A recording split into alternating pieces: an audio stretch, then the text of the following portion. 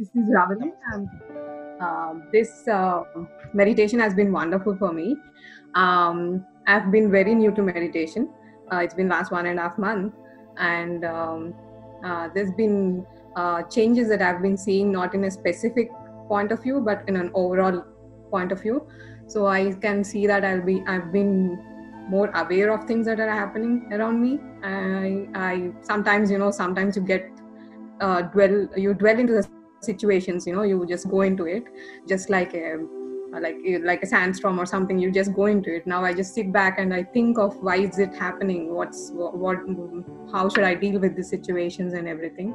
I think that perspective has come to me through meditation.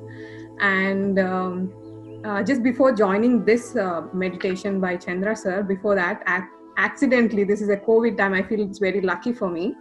Um, to, I'm a doctor by profession, and um, I have got my exams. Everything got postponed because of COVID. It's they're due to due till December, so I'm sitting at home, and randomly I come across this YouTube channel named PMC. Uh, my mother tongue is Telugu, so I um, I started hearing. Uh, all these uh, spiritual journey experiences and everything and it's like automatic no one i have come no one has told me like uh, okay this is uh, something re- regarding uh, meditation or anything you join it. So this came to me. I just was uh, you know just searching uh, along the youtube and i came across this and i just um, saw a video of newton sir's audio on how to do meditation and i just put the i just I, I, being a doctor i've never meditated. That's very stupid of me. I wanted to do that. I wanted to experience it so I said, okay, let's sit because I know about brain neurology and everything, all the textbook material. You ask me, I tell you. But um, I sat in meditation and uh, I was just doing it for two days or three days. I didn't know how to start. Like uh, I was following what sir was telling, but I didn't know the time. I sat it for one hour and one hour and one hour. And after two, three days, what happened? I could feel energies. My head was like moving in 360 degrees all the way. There was so much tingling in between my eyebrows and i was i didn't know what was happening because this was not medical. I was uh, completely fine. I was going to my gym like my jog every day and i was like my bp is fine. Everything was fine but this was happening to me. And i was like okay i don't want to stop it. Let's see what happens. So i was doing it every day. Then after six or seven days i uh, what happens is like i was reading a book outside and suddenly i get up from my chair and i fall down and uh, I just lost my balance because my head was rippling. Oh, it's like tingling, and everything was happening.